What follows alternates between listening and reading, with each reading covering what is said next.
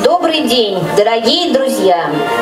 Сегодня на Михайловской земле мы отмечаем знаменательное событие, посвященное юбилейной дате, 140-летию годовщины со дня рождения нашего земляка, композитора и военного дирижера, автора легендарного широко известного марша «Прощание славянки» Василия Ивановича Агапкина. Василий Иванович Агапкин поистине легендарная историческая личность.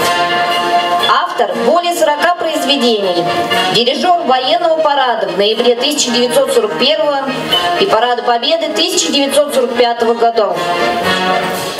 В честь его названа детская школа искусств в городе Михайлове.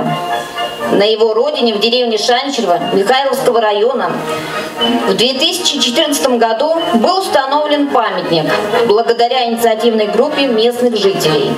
3 февраля 1884 года в деревне Шанчерово родился автор легендарного марша «Прощание славянки».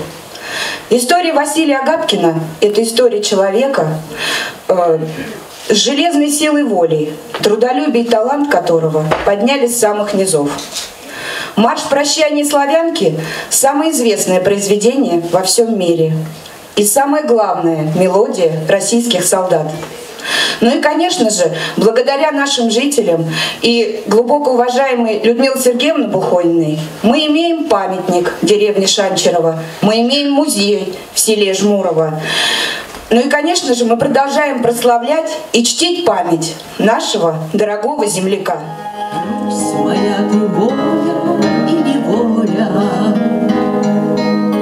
Не понять умом мне этот край. Если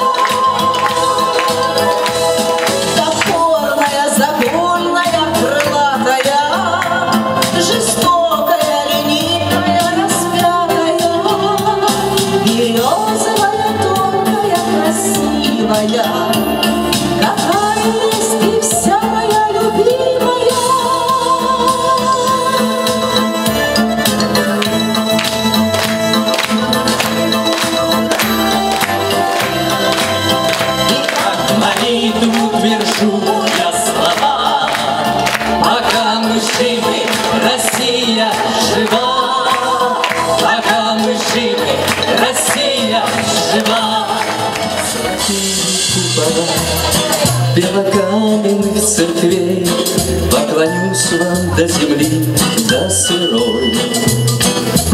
Спой мне русский соловей о стране своей святой, Душу черствую мою обогрей. Я березу да, убегу от суеты, И в небесной синеве растворю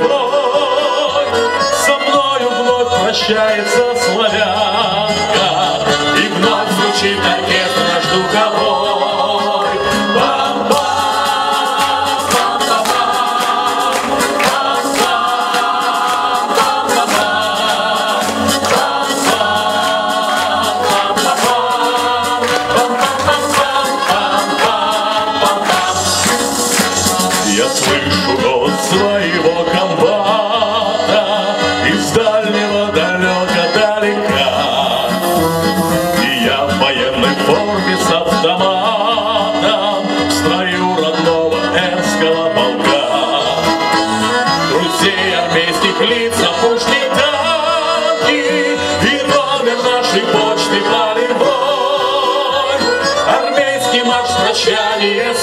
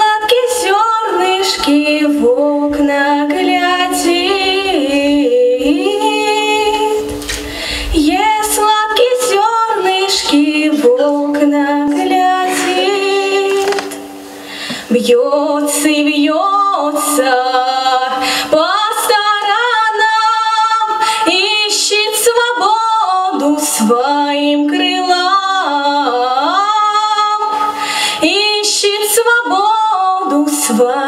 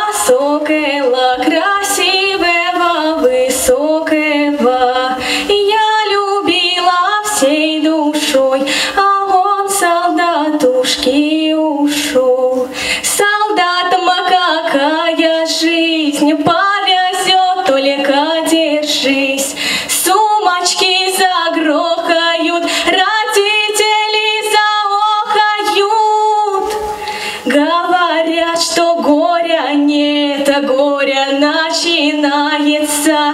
У военного стола залетка призывается.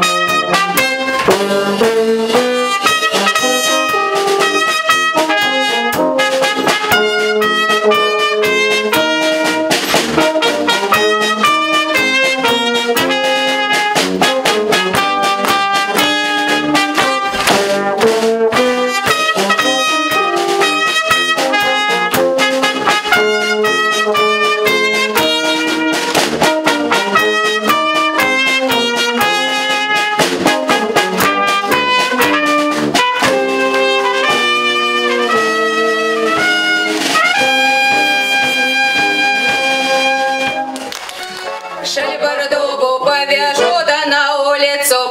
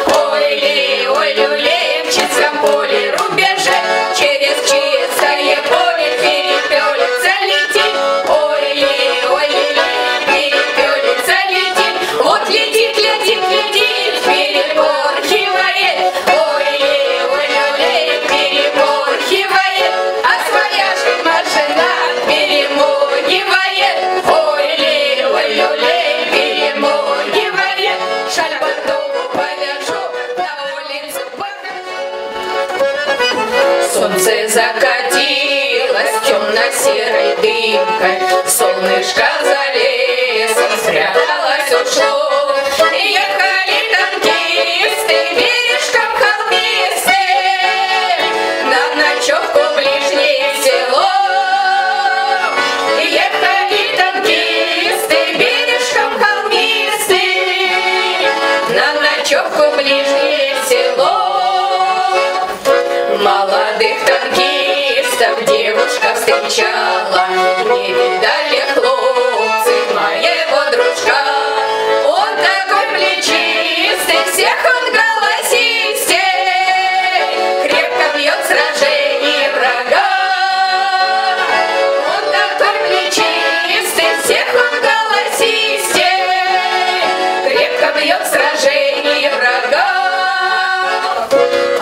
Кричали хлопцы, всем мы здесь плечисты.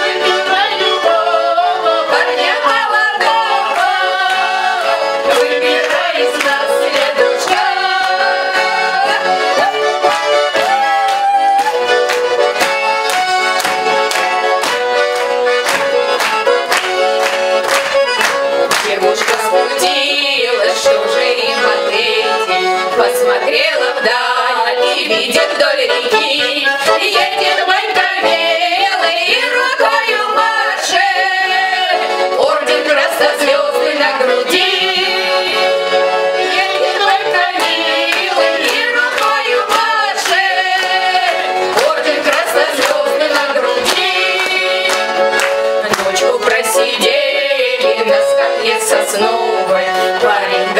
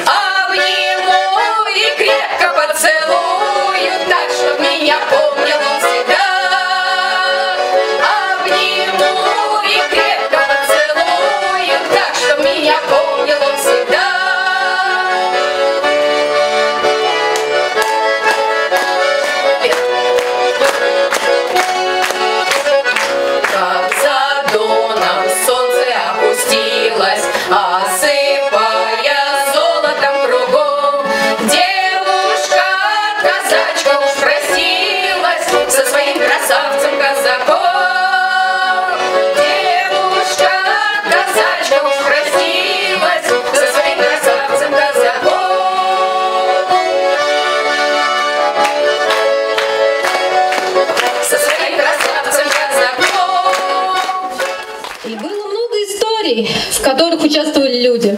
Живые, которые погибали, страдали, оставались инвалидами. Тяжелая судьба была у людей. Именно о такой истории я хочу вам поведать. О том, как война забрала несколько жизней, разрушив перед этим каждую из них. Дело это взято из архива и писателями переделано как нечто творческое. Прошу строго не судить.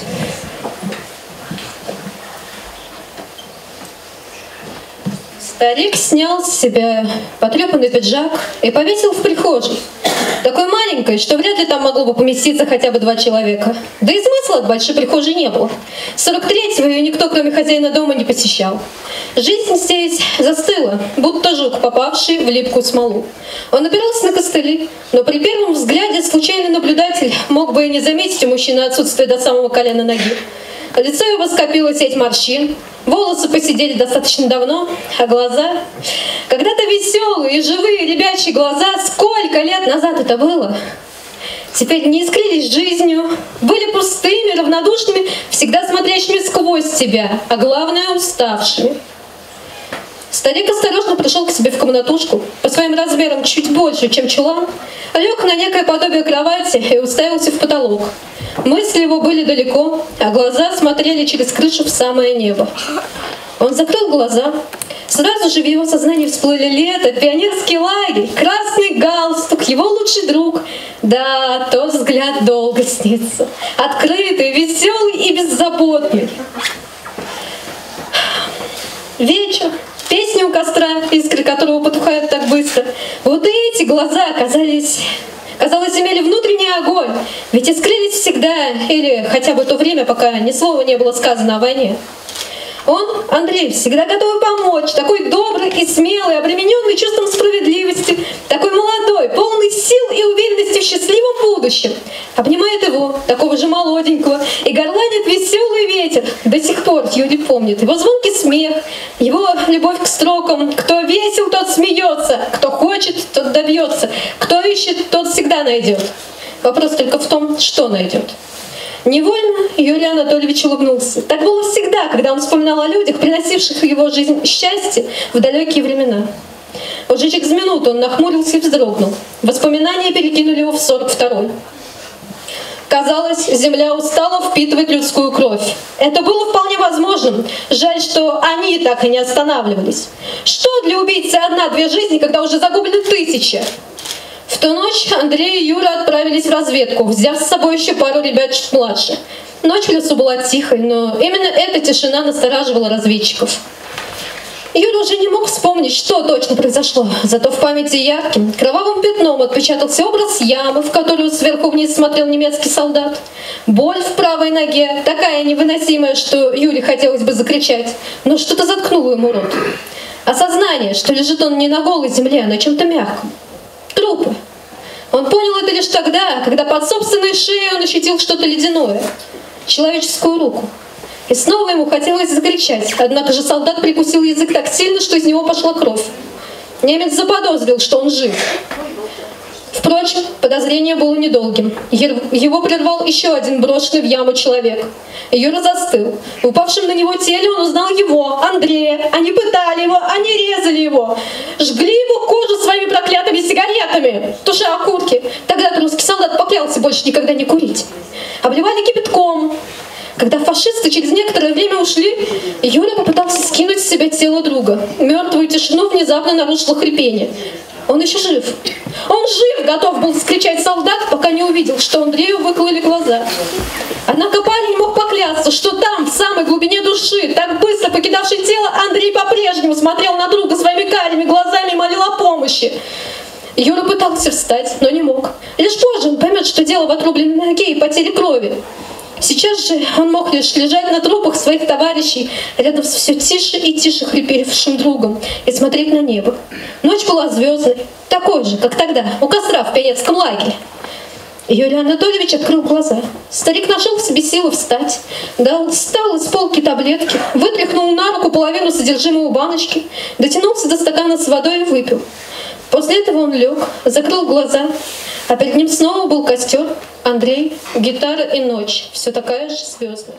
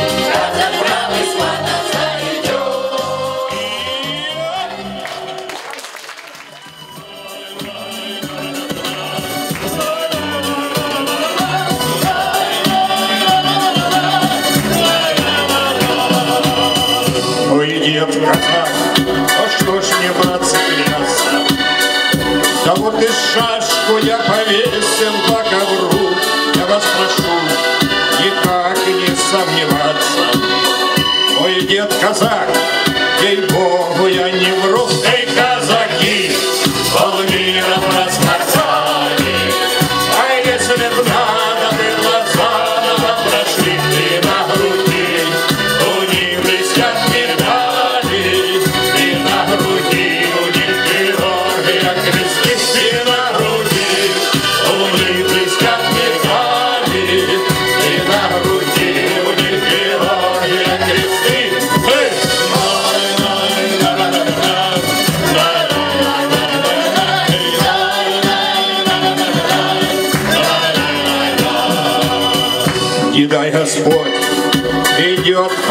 лихая и казаков.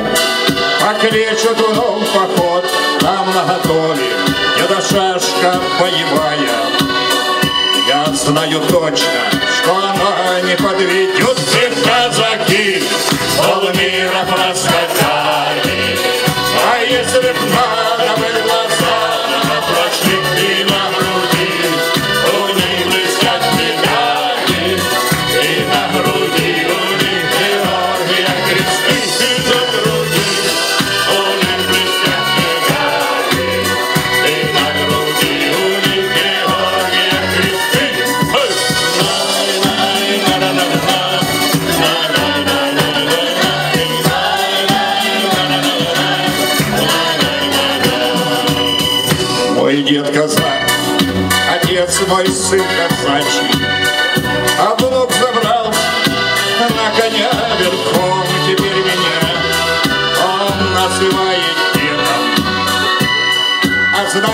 самым главным казаком